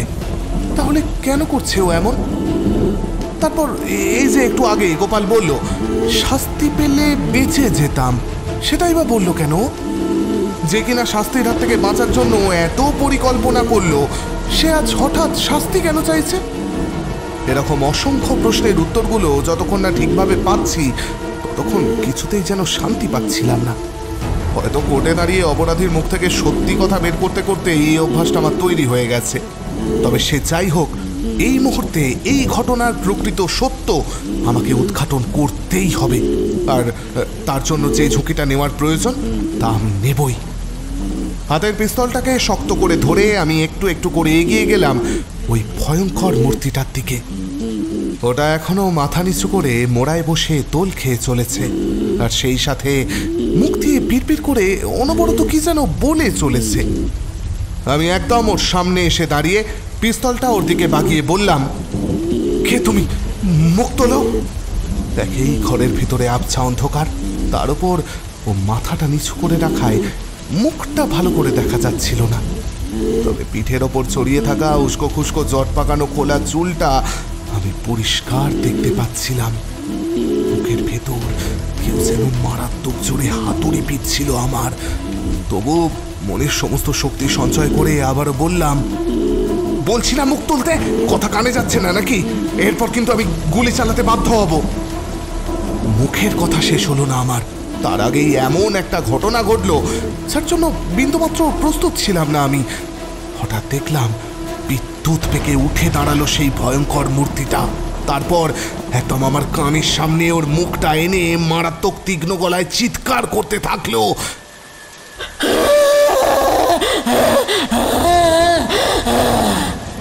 আকস্মিক এই কান ফাটিয়ে দেওয়া ভয়ঙ্কর চিৎকারের আওয়াজে মাথার ভিতরটা ছনছন করে উঠল আমার।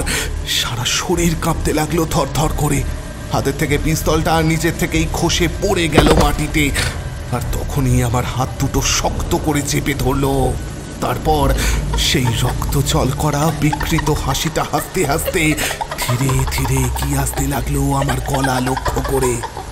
বুঝতে অসুবিধে হলো না আমায় নিরস্ত্র করে এই পিসাচি এখন আমার রক্ত মাংস ছিঁড়ে খেতে আসছে। হে ভগবান, আমার দশাও কি তবে ওই গ্রামের মানুষগুলোর মতো হতে চলেছে?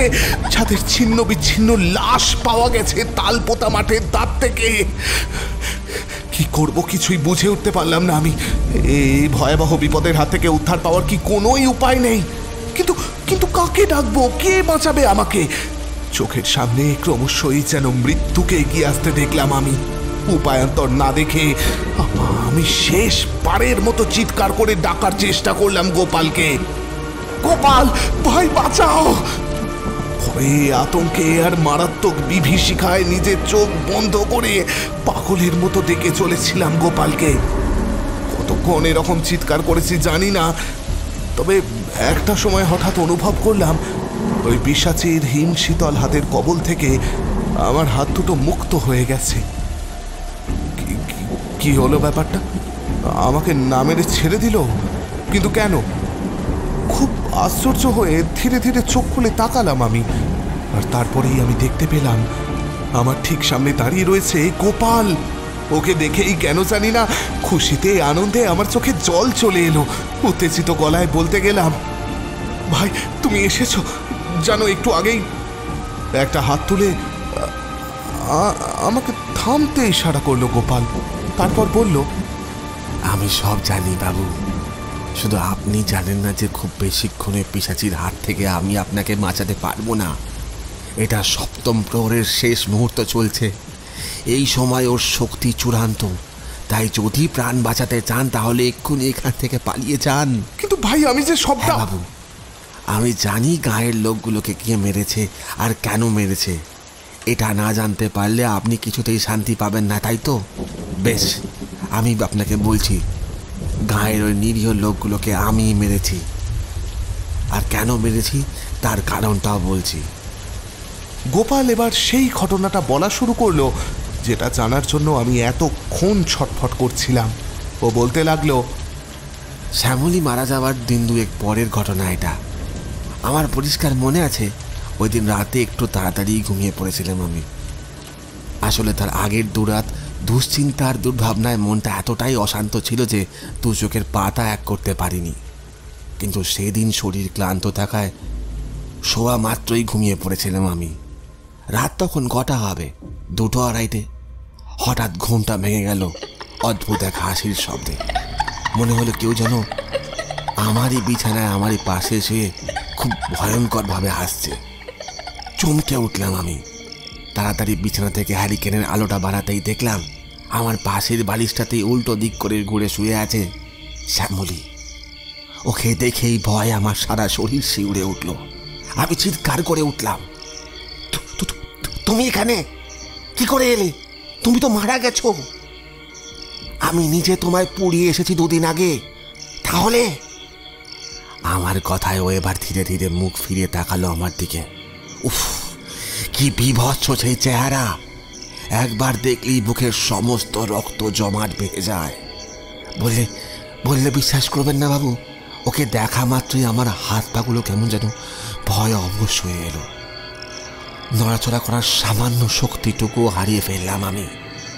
একটা পাথরের মূর্তির মতো আমি দাঁড়িয়ে থেকে গেলাম এক জায়গায়। আরও একটু একটু করে এগিয়ে এলো আমার দিকে। এরপর একদম আমার মুখের সামনে এসে প্রচণ্ড ভয়ানক গলায় বলল মাংসের প্রতি তোর খুবই লোভ তাই না? সামান্য দু টুকরো মাংস খেয়েছিলাম বলে মেরে ফেললি আমার? আমি বলতে গেলাম শ্যামলী আমায় তুমি ক্ষমা করো। বড্ড ভুল করে ফেলেছি আমি। কিন্তু কেন জানি না আমার গলা দিয়ে কোনো আওয়াজই বেরোলো না। তার মধ্যেই ও বলে চলল মাংসের জন্য তুই আমার রক্ত ঝরিয়েছিলিস তো? তাই এবার থেকে তুই রোজ মাংসই খাবি। আর সাথে কি খাবি বলতো? রক্ত।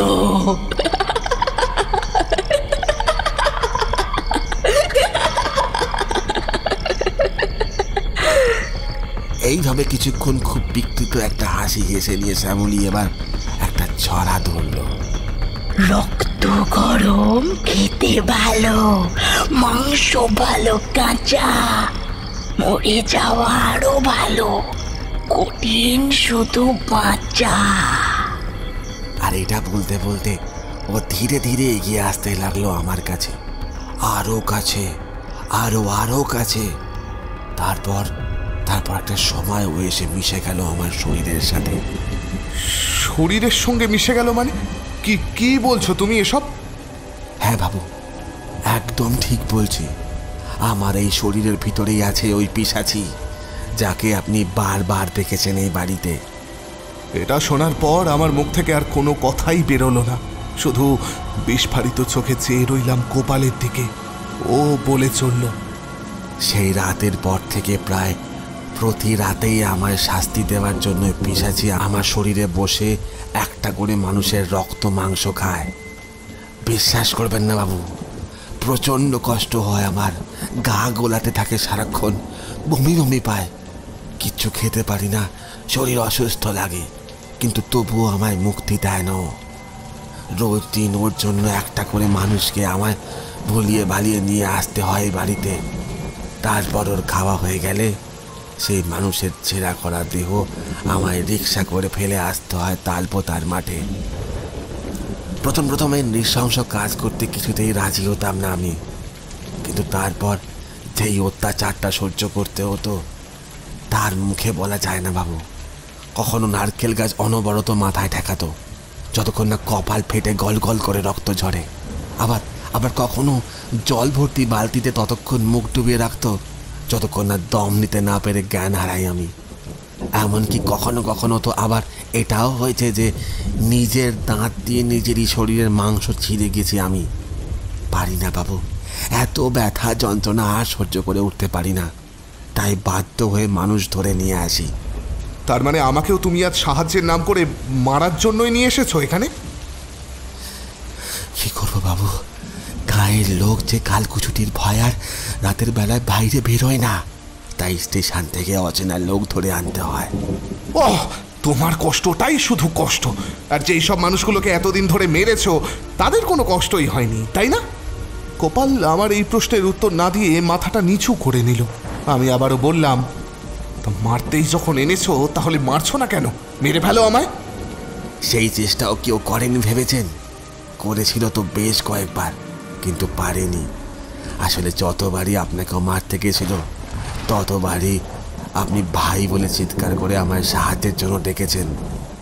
আর ওই ডাক শুনে কেন জানি না প্রতিবারই ওর পিসাচির শক্তি হার মেনে গেছে আমার ইচ্ছা শক্তির কাছে। তাই এখনও অব্দি আপনি বেঁচে আছেন। তবে এবার আর খুব বেশিক্ষণ ওকে আটকে রাখার ক্ষমতা আমার নেই। কারণ রাতের এই সময়টা ওর শক্তি সবচেয়ে বেশি থাকে। তাই বারবার অনুরোধ করছি নিজেকে বাঁচান আপনি। এক্ষুনি পালিয়ে যান এখান থেকে। আর তুমি কি করবে? গোপাল এবার মৃদু হেসে মাটি থেকে পিস্তলটা কুড়িয়ে আমার হাতে তুলে দিয়ে বলল আমার অন্তিম শাস্তি নেবার সময় এসে গেছে বাবু। এমনিতেই অনেকগুলো মানুষের মৃত্যুর দায় আমার ঘাড়ে। তার উপর শ্যামলির এই রকম ভয়ঙ্কর পরিণতি হওয়ার পিছনেও আমি দায়। তাই এত সব পাপের বোঝা নিয়ে আমি আর চলতে পারছি না। অনেক হয়েছে। এবার এটাকে এখানেই শেষ করতে হবে। আর সেটা কীভাবে তাও জানি আমি এই বিষয়ে গোপালকে আরও কিছু বলতে যাচ্ছিলাম আমি কিন্তু তার আগেই হঠাৎ আমার চোখ গেল ওর চেহারাটার ওপর।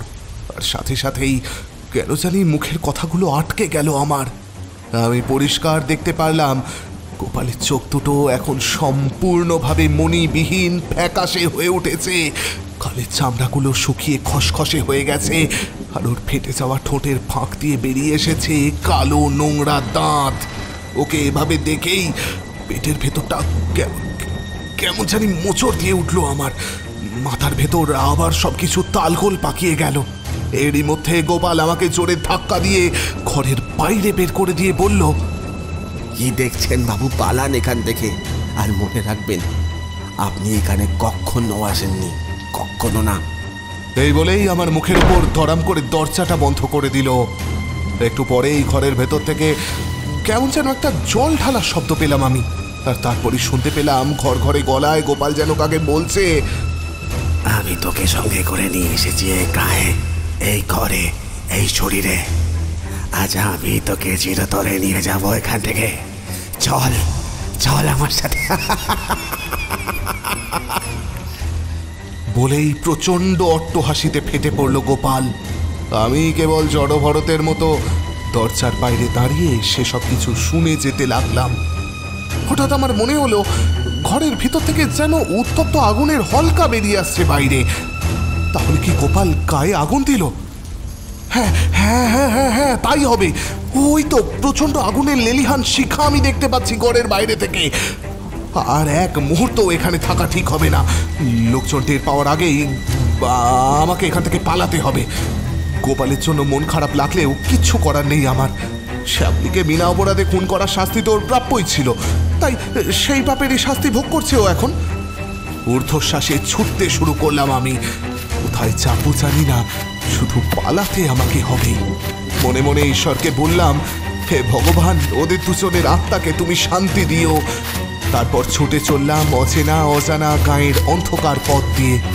আচ্ছা কোন দিকে গেলে স্টেশনটা পাবো? কে জানে?